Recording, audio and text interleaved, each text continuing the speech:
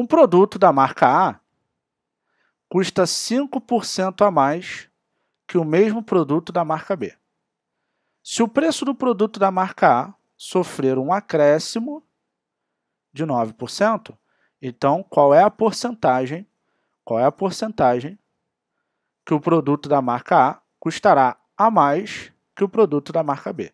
Aí você, ai meu Deus, problema é de quê? Porcentagem. Por que eu sei que o problema é de porcentagem? Porque tem ali porcentagem. Acabou. Porque eu sei que o problema é de porcentagem, porque tem ali porcentagem. Tá legal? E aí você tem o, produ o, pro o produto da marca A e tem o produto da marca B, correto?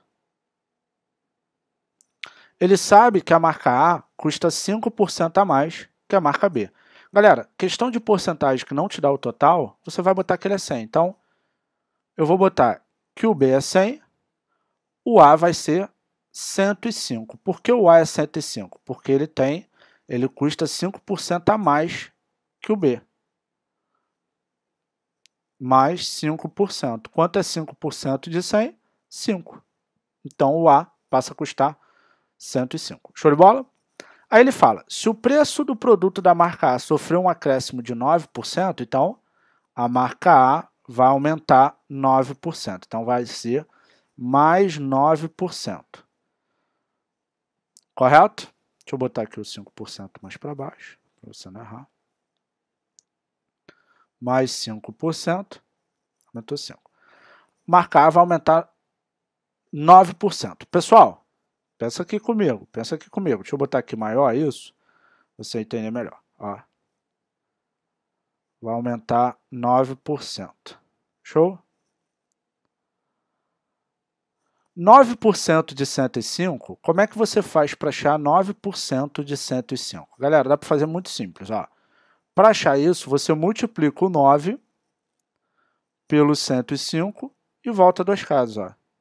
105 vezes 9 9 vezes 5, 45. 0 dá 4, 945. Multipliquei, agora eu volto duas casas. Então, aqui vai aumentar 9,45. 105 mais 9,45, isso daí vai dar 114,45. Então, o preço da A passou a ser 114,45. Show de bola? Aí ele quer saber a porcentagem que o A custa mais que o B. Cara, o A custa 114,5 e o B custa 100. Então, ele custa mais, vou botar aqui que ele custa mais, 14,45. Opa, deixa eu apagar aqui. Ele custa mais 14,45, que quando comparado com 100, que é o valor de B, já dá 14,45%. Então, qual é o meu gabarito? Letra D